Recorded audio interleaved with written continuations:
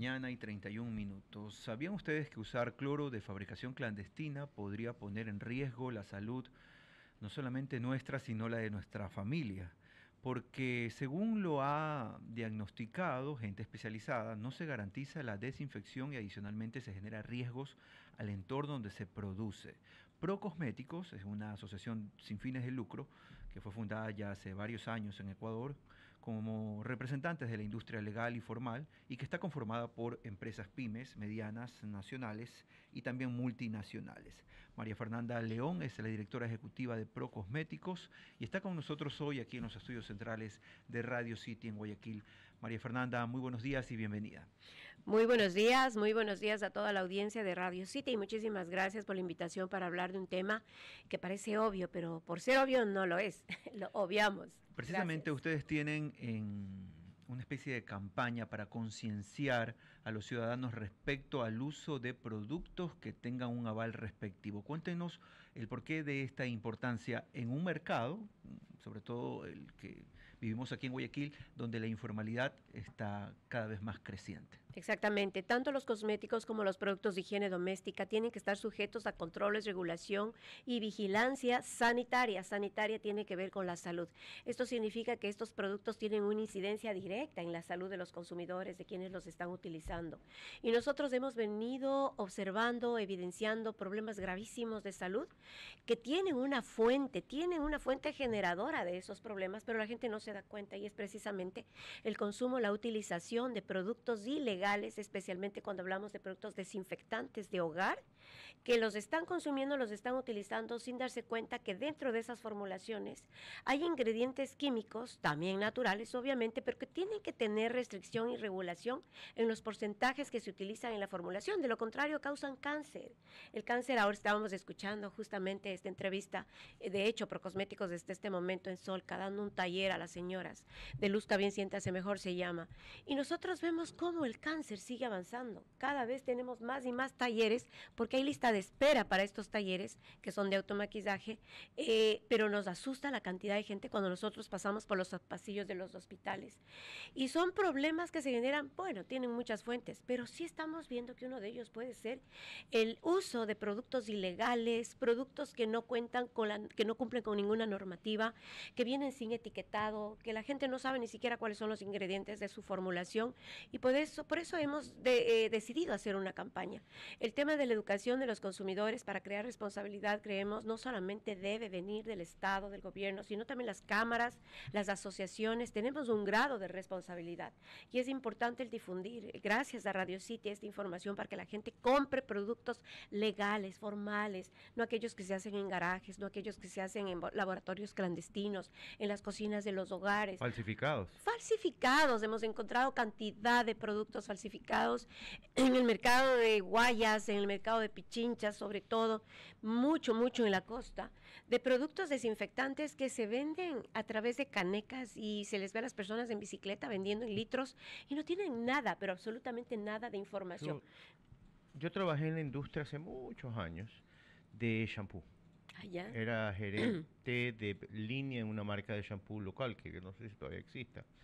Y yo me acuerdo que el tema de la falsificación era, era un, ciclo donde ellos les compraban, los falsificadores les compraban a los chamberos los tarros vacíos de shampoo. Les quitaban las etiquetas se las los hervían los envases para quitarle las etiquetas, le ponían etiqueta falsa y los ponían con shampoo hecho en casa. Y nosotros teníamos, en esa época era un número telefónico, no había un 800, un número telefónico donde la gente llamaba a reclamar de por qué se les estaba cayendo el pelo por usar este shampoo. Entonces se decidió en esa compañía cortar por lo sano. ¿Qué hacíamos? le comprábamos a los chamberos directamente nosotros los tarros para evitar ese problema. Nos gastábamos muchísimo dinero. no le puedo explicar la cantidad de dinero, en esa época estábamos en Sucres, no le puedo explicar la cantidad de dinero que nos gastábamos, pero era una forma de que empezara la escasez. Lo malo es que empezaron a comprar el de la competencia. Claro, y Ahí ya no podía ser yo más. Claro. Y, para muestra un botón, porque tenemos tanta cantidad de productos, tanto en el sector cosmético como es el caso de los champús, como el sector de los productos de desinfección de superficies. Eh, veamos, un producto muy utilizado, ¿cuál puede ser? El cloro, por ejemplo. El cloro, eh, eh, hemos visto en garajes, en algunas ciudades pequeñas, grandes incluso, cómo se comercializa cloro ilegal. Cuando el cloro tiene que ser elaborado bajo la vigilancia de un químico, una química bioquímica farmacéutica, que pone su marca, su firma de responsabilidad, eh, confirmando que esa formulación está correcta y que no va a hacer daño a la salud. ¿Qué pasa con estos cloros ilegales? Terminan causando cáncer, terminan dañando el sistema olfativo, respiratorio de la gente, tanto la que prepara como la que está utilizando. Puede causar graves daños a la vista. Pero ¿qué hago yo, por ejemplo, qué hago yo como consumidora?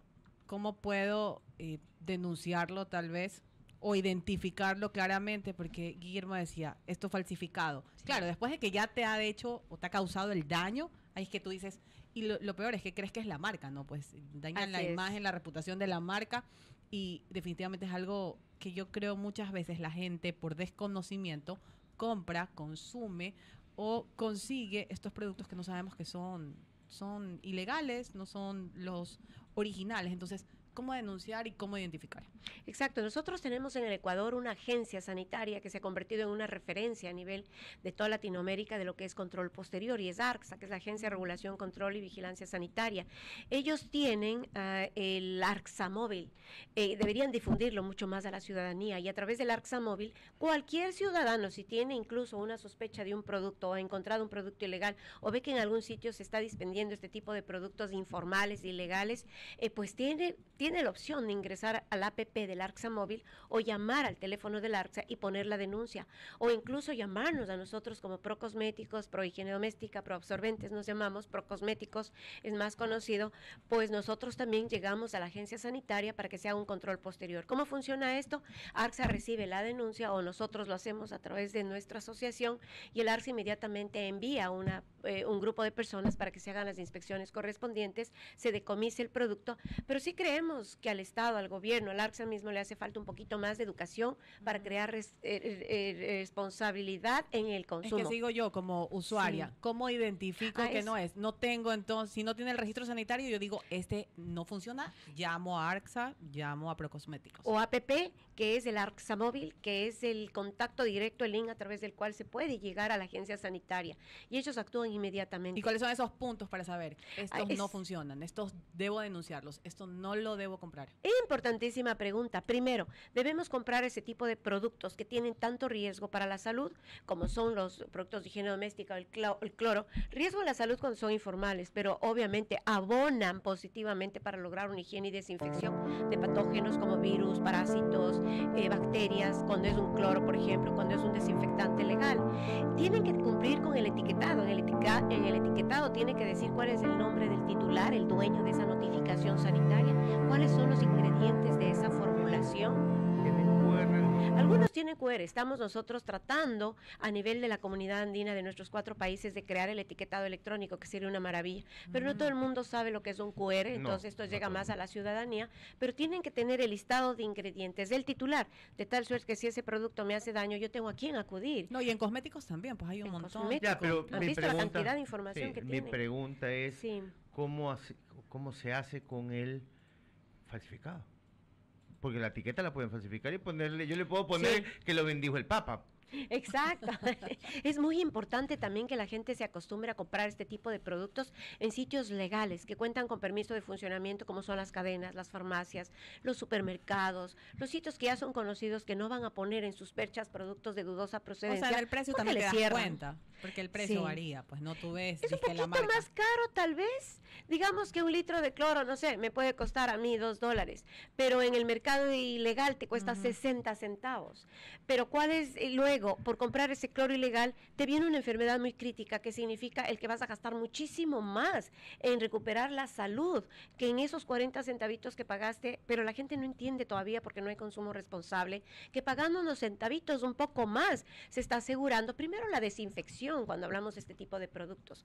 Nosotros veíamos cómo cuando comenzó el COVID de hecho éramos los únicos que hablábamos del COVID en enero y febrero del 2020, decíamos utilicen productos legales, utilicen productos legales, tengan conciencia de esto sin embargo si nos vino en marzo y encontramos productos en el mercado de Tuvimos dudosa procedencia.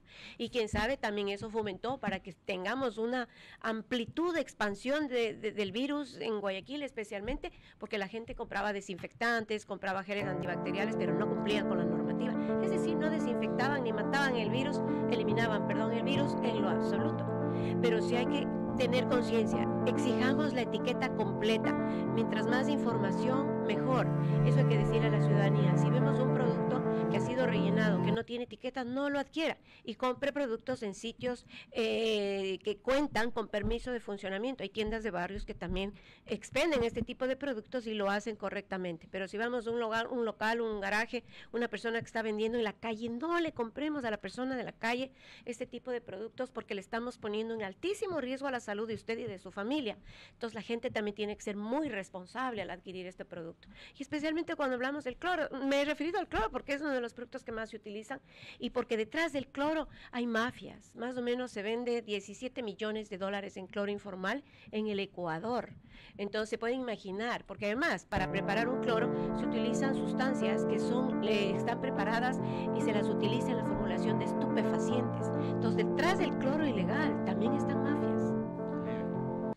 Interesantísimo el tema que hemos tratado durante esta jornada, ¿sí? Sí. sí, sí, sí, de preocupación también, pero allí tienen un desafío las autoridades. Ha sido María Fernanda León, directora ejecutiva de Procosméticos, hablando esta mañana sobre la necesidad de prestar atención a el tipo de productos que consumen los ecuatorianos y alejar un poco la falsificación, la ilegalidad que puede esconder muchas complicaciones. Gracias María Fernanda por estar con nosotros. Muchísimas gracias a ustedes y gracias a la ciudadanía que nos está